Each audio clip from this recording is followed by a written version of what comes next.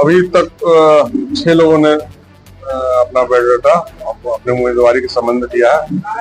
बगमारा Jharkhand Pradesh Congress committee के द्वारा धनबाद कांग्रेस कार्यालय में आगामी विधानसभा चुनाव को लेकर धनबाद जिला कांग्रेस मुख्यालय में जिला अध्यक्ष के समक्ष धनबाद जिला विधानसभा कुल सत्रह लोगों ने कांग्रेस के टिकट की दावेदारी के लिए कांग्रेस कार्यालय में अपना आवेदन जमा किया है। धनबाद विधानसभा में चार लोगों ने दावेदारी की है। वहीं झरिया से दो, निरसा से एक, बागमारा से दो लोगों ने नामांकन पत्र जमा किया। जिला अध्यक्ष संतोष सिंह ने कहा कि सुबह 11 बजे से शाम 4 बजे तक मैं कांग्रेस कार्यालय में स्वयं उपस्थित रहते हुए सभी का नामांकन पत्र स्वीकार किया, जिसमें धनबाद जिला से हर विधानसभा के आवेदन जमा हो रहे हैं। अभी तक छह लोगों ने अपना बायोडाटा अपने उम्मीदवारी के संबंध दिया है। निरसा विधानसभा से आज सुरेशन झा जी ने किया है और धनबाद विधानसभा से सुंदर यादव जी और नवनीत नीरज जी और विजेंद्र पासवान जी, तीन लोगों ने दिया है और बघमारा विधानसभा से रोहित यादव जी ने दिया है। और सुखदेव महतो ने दिया। सुखदेव महतो इसके मतलब सुखदेव महतो जी है, उन्होंने दिया। बघमारा विधानसभा से दो लोगों ने आज मंगन दिया। और शाम चार बजे तक नामांकन प्रक्रिया चलेगा आज, और फिर कल भी है, और अट्ठाईस तारीख को लास्ट है।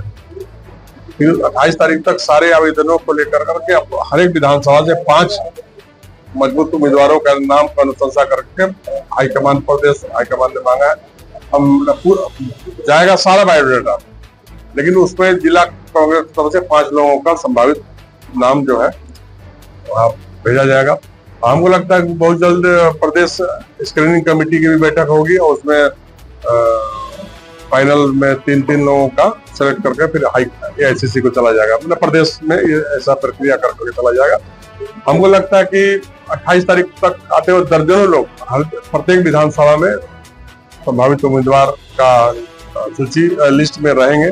जैसा कि सरगर्मी या कार्यकर्ताओं में या नेताओं में जो उत्साह कांग्रेस पार्टी की तरफ़ से देखने को मिल रहा वो है। और आज तेईस तारीख से लेकर अभी तक कितने आवेदन आ गए? बारह छह सोलह दिन पाँच आए। टोटल टोटल पूरे सब मिला करके ग्यारह था पहला दिन। आज सत्रह हो है आज सत्रह अठारह करीब। सबसे ज़्यादा किस किस विधानसभा से आवेदन धनबाद विधानसभा से। सबसे कम? सबसे कम हमको लगता है कि झरिया। दो झरिया में दो लोग हैं अभी तक। झरिया में दो लोगों ने अभी तक किया है। अट्ठाईस तारीख तक बहुत सारे लोग वहाँ वहाँ से भी करेंगे जैसा कि सूचना मिल रहा है। तो क्या जो पार्टी के पहले से विधायक हैं या पदाधिकारी हैं उनको भी आवेदन करना होगा? नियम तो यही है। नियम कांग्रेस के प्रधान में जो कल प्रभारी जी ने जो कहा है पद पर कोई वो जो नियम है जिला कांग्रेस कार्यालय में जिला अध्यक्ष के पास अपने आवेद- दावेदारी, आवेदन देना होगा। बाकी तो कांग्रेस के जो प्रदेश कार्यकारी प्रदेश अध्यक्ष जलेश्वर महतो या झरिया के विधायक उनको भी आवेदन करना होगा प्रॉपर तरीके से? सारे लोगों के लिए ये नियम है। सिर्फ़ एक दो लोगों के लिए नहीं नहीं है। कांग्रेस पार्टी ही कार्यकर्ता बेस्ड पार्टी है है ना? संगठन से ही विधायक होता है, सांसद होता है। सांसद विधायक से संगठन ही होता है। है यहीं से श्रेणी से यही श्रेणी यही है संगठन से के बल पर ही लोग बनते हैं इसलिए संगठन सर्वोपरि है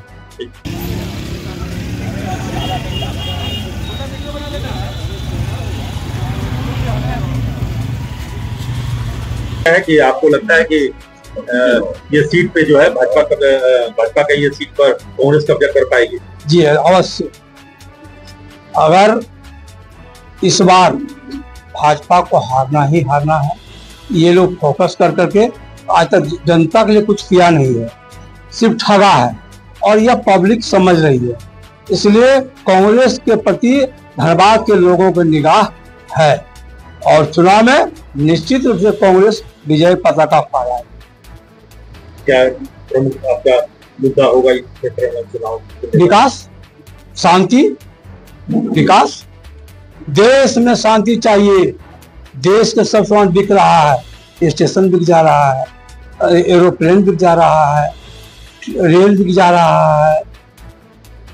उसके राज्य में बलात्कार हो रहा है बहनों के साथ। मणिपुर आज तक देखने नहीं गया।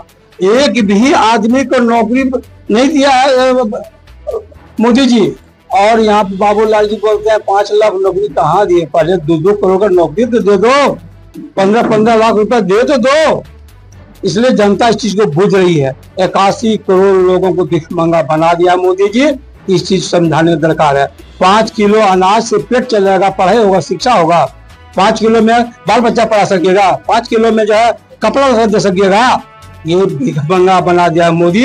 यह जनता समझ हमसे रास्ते में पूछा ही झरिया वाला का आवेदन आया कि नहीं? हमसे रास्ते में धनबाद देखिए पढ़ा लिखा लोगों का जगह है। शिक्षित शिक्षित लोग ही यहाँ पे जो है ये करते हैं। और हम उन्नीस सौ सतासी से छात्र जीवन से कांग्रेस पार्टी में और मेरा तो दावा सबसे मज़बूत है, क्योंकि मैंने कभी पार्टी छोड़ा नहीं, कोई दूसरे पार्टी में गया नहीं। इसलिए हम उम्मीद करते हैं, हम, हमारे जुझारू जिलाध्यक्ष को हम आज अपना विधान विधानसभा के लिए चालीस विधानसभा धनबाद यहाँ इनको आवेदन दिया है। बाकी अलाकमान का जो भी निर्देश होगा हम उसको पालन करें तो आप वो चाहेंगे कि कहीं भी जो है पैरासूट वाला उम्मीदवार नहीं आए जो आए वो यही एकदम होना चाहिए। पैरासूट क्यों आएगा? यहाँ यहाँ देखिए आप देखिए आप आप देखिए अट्ठाईस तारीख अध्यक्ष जी बोले हम लेंगे एप्लीकेशन लेंगे आप देखिए धनबाद में सबसे ज़्यादा भीड़ होगा पूरे विधानसभा से तो पैरासूट की क्या ज़रूरत है यहाँ? यहाँ नेता नहीं रहेगा तब तो पैरासूट का ज़रूरत है। तो कुछ लोग दिल्ली से भी चुनाव लड़ने आया है कुछ लोग और भी जगह से आया है। तो ये लोग भी तो तलाश रहा है ना जगह। एक चीज़ है लोकतंत्र में सबको अधिकार है अपना हक मांगने का। तो अलकमान देखेगा कौन कितना दिन से पार्टी में है कौन कितना दिन से संघर्ष कर रहा है? हम लोग तो संघर्ष के उपज है हम लोग तो बोरो नहीं। हम लोग तो धनबाद की धरती का बेटा है।